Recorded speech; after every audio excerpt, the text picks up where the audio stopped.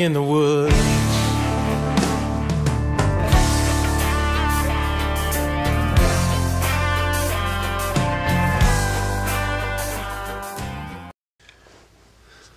Afternoon guys, Dave Canterbury with Pathfinder School back with another video, The Diary of the Tipi.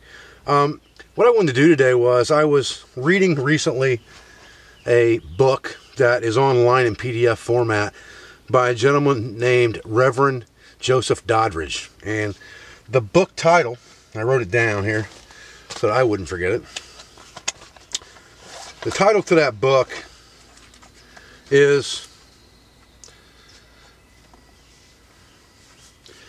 Notes on the Settlement and Indian Wars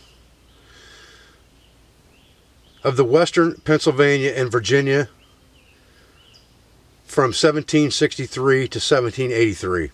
Bear in mind I'm reading that without my glasses on, guys, so pretty sure that's pretty close. If you just Google Joseph Doddridge, you'll find it. Um, at any rate, reading this book, he tells a very lengthy history of everything from, you know, how society operated to wilderness settlements, and there are lots and lots of good reading material ideas in there or lots of historical lessons of the frontier in that time period within this book.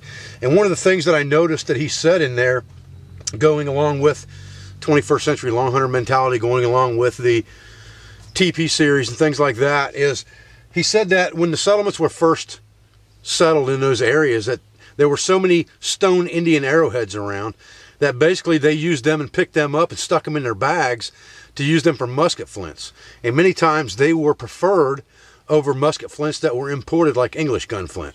So what I figure is they must have picked these things up, broken or whole, and then reknapped them into gun flints because an arrowhead won't work for just a gun flint without reknapping. So what I did today was I went ahead and knapped a typical Cahokia style point. Now this would be a point that would be typical of the area of the Scioto Valley, Cahokia, Illinois, in those areas. This is called a Cahokia point. They were thousands of these found in Cahokia Mound. So I figured that's a typical point for this area. And I made this with U.S. flint. Uh, flint was traded up and down the seaboard, up and down the east coast, and all across the eastern woodlands, you know, all the way from out west down to Mexico, Canada, up, down, all around. They traded flint, obsidian, you know, jewelry, all kinds of things. So any type of American flint would work for this. Um, I believe this might be flint from Arkansas, if I remember correctly. Uh, I just knocked this off a nodule. It's actually one of the flakes that we knocked off when we did the video on how to make stone tools. That nodule, one of those flakes, is this point. I made one point on video with that a flake. I made this Cahokia point today with another flake with the intentions of breaking this point to try to make a gun flint. So now the question is, looking at this, how do I make a gun flint from this arrowhead that is whole?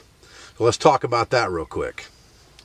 Okay, generally speaking, this would have been the tool or a typical tool carried of the day or of the period and it's a turn screw, very similar to the one that we made and forged in the yurt the other day, with a vent pick on one side, but this one has a turn in it right here, and it's ground off, and that is a knapping hammer, is what that's for. That's to knap your gun flint, as well as you could use the turn screw for the same thing. You could use this point to knap with. So you've got a pretty good knapping tool right here in this in this multi-use tool that you use for your flintlock. So let's take our musket, first of all, and let's remove the gun flint that's in here now and have a look at that so that we can compare that with what we need to do to make a gun flint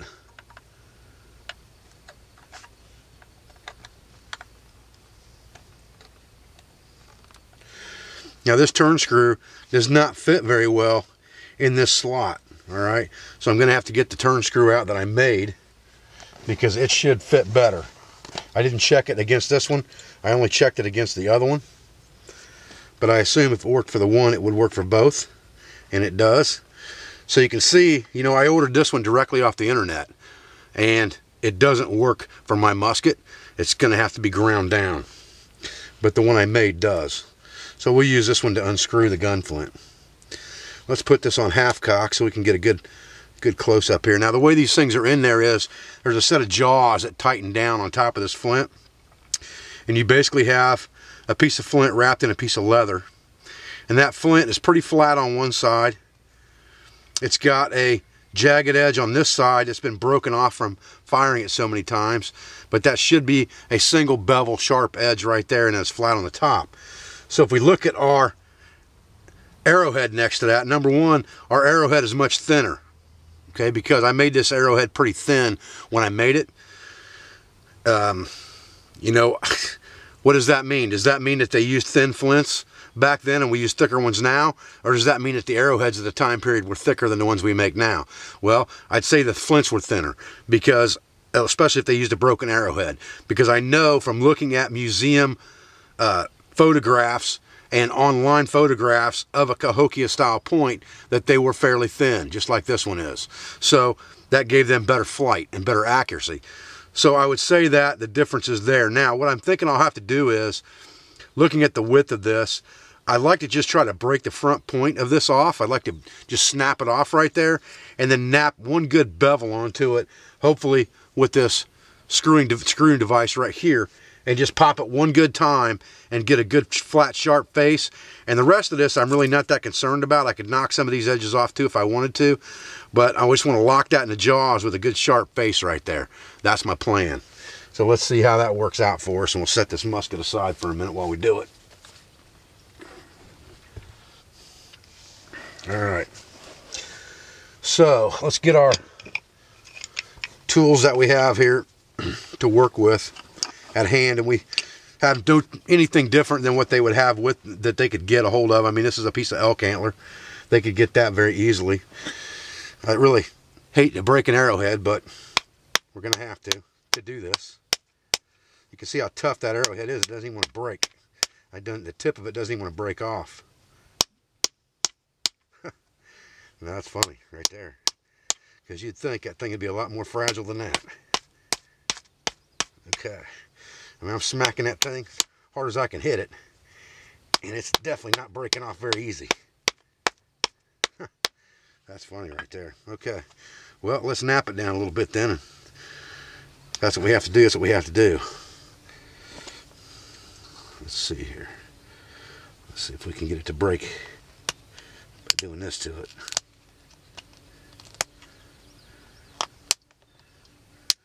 So we're just using an antler tine here and I'm just breaking it off a little at a time, just breaking it back to widen it out.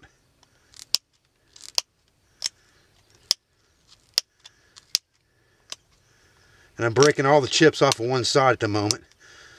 Hopefully what that's going to do is just give me that one sharp edge that I need once I get it back that far. And I won't have to mess with anything else. I'll have that sharp edge right there in front of me.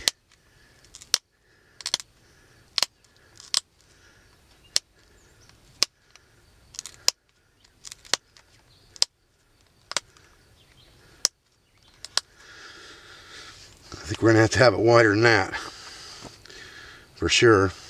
Let's look at our flint that we've got. You can see we really need to go back probably another, I don't know, quarter of an inch on that point maybe. So that's fine. We're just to have to take some off the other side to do it probably. And we can do that. It's not a big deal.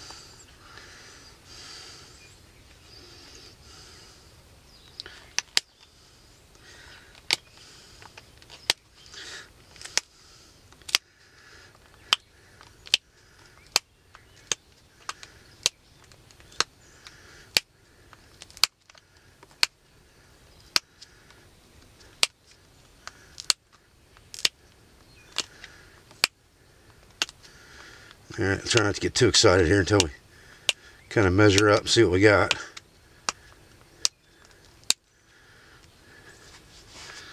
See what we're looking at here. All right, we're getting close. Still got some we can take off. So now let's go back to this other side.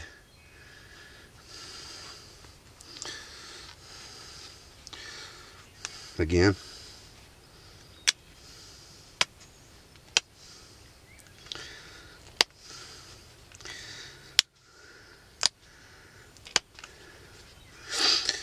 Apologize if you guys can't see that very well. I'm trying to kind of show you what I'm doing while I'm doing it, but I'm just grabbing those edges, breaking them down.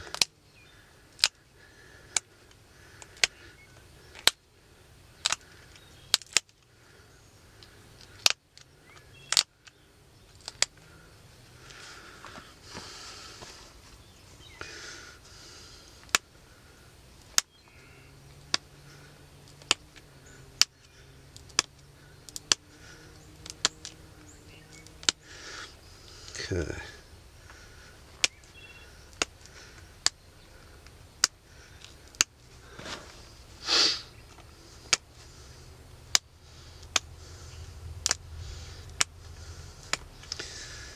A little bit of work involved here, but nothing too drastic.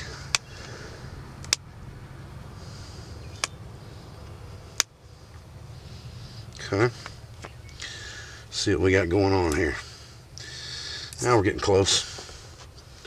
At least we're getting close in size, lengthwise. We'll probably have to work on our width a little bit in the end. Now I just want to kind of sharpen this thing up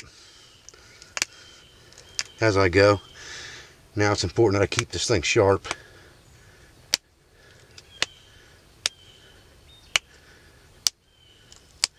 And like I said, you know, a piece of antler would not have been unheard of at all for them to have. Would have been very easy for them to get a hold of a piece of antler. As they kill deer all the time. And elk. Okay. We got a good sharp edge now. I don't think we're going to play too much more with that. That gives us a single bevel edge at this point right there.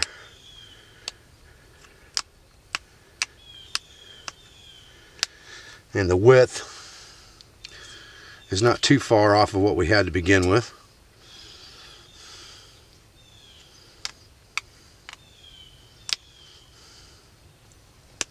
Okay. Now, let's talk about our width for a minute. We're going to have to do something about that as well. So let's just take these edges and knock them down. Can.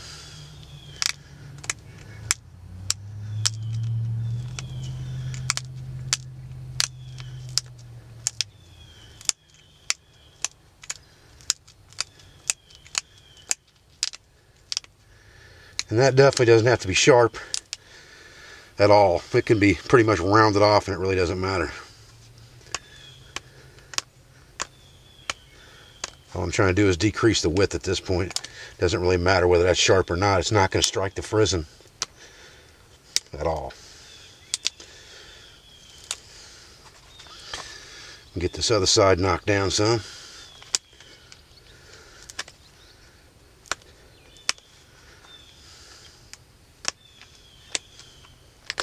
What we don't want to do is we don't want to break that ear off. We break that ear off, then we're going to have a problem because our flunk's going to be short. Because we took all of our length off the front end. So now we got to be careful not to put too much pressure on it and break that ear off.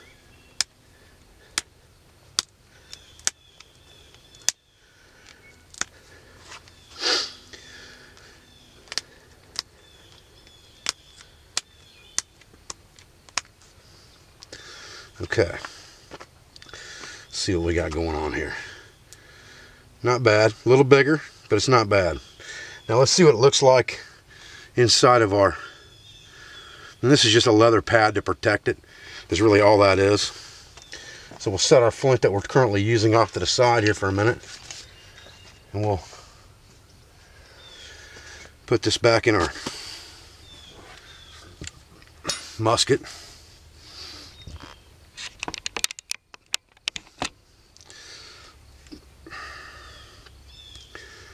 All right. Open our jaws up.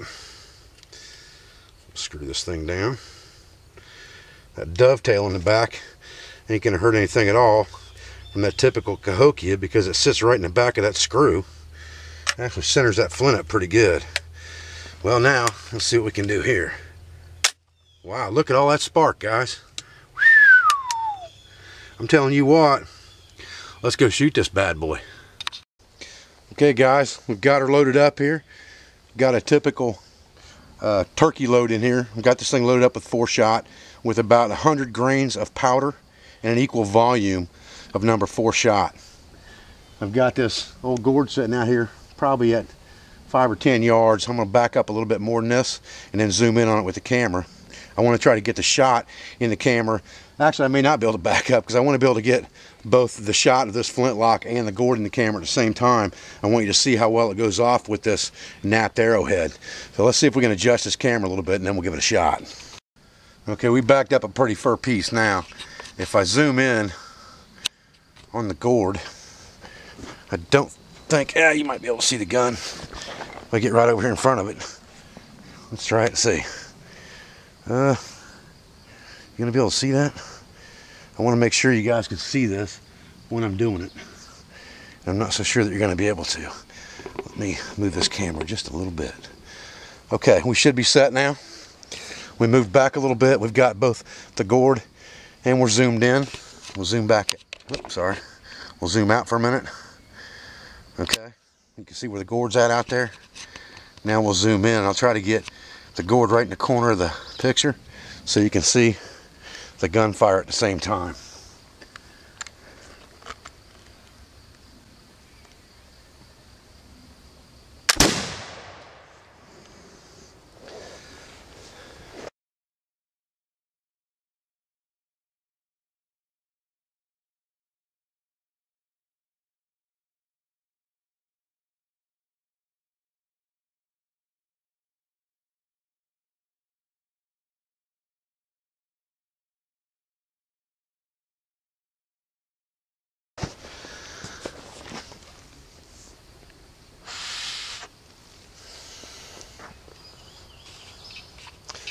All right, let's go take a look at our gourd.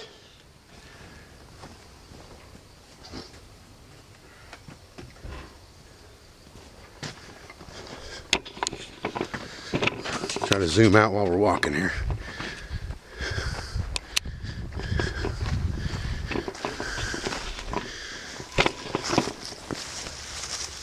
All right, there's our there's our gourd, fellas. It's uh pretty much obliterated. If I'd have been a turkey, it'd been on like Donkey Kong. Of course, you got to see one before you can shoot it, so that's why they call it. There's the patch right there. that's why they call it hunting and not shooting, I guess. All right, there we go. Guys, I appreciate you joining me for another video here in the Diary of the Tipi. Hopefully you enjoyed that demonstration of how to take an arrowhead and knap it into a flint for a flintlock musket. Obviously, you could do that with any piece of flint. I just wanted to do the experimental archaeology to do it the way it was done back in the day, according to the history books, um, according to historic writings by people like Reverend Joseph Doddridge. And a lot of people ask me, you know, how did you get started doing this kind of stuff? And this is how I got started, you know, reading history books, being interested in history, being interested in the outdoors, trapping as a kid, um, exploring the woods as a kid, just like I'm sure a lot of you did, and just continuing to experiment with things and read things and try those things that I read to see if they worked or didn't work to see what improvements I could make. That's how you learn. Continuous dirt time, experimental archaeology, and continued research. So I appreciate you joining me today, and I appreciate everything that you do for me, for my family, for my business. I appreciate your support, and I appreciate the views, and the time that you take to watch my videos, and I'll be back with another video as soon as I can.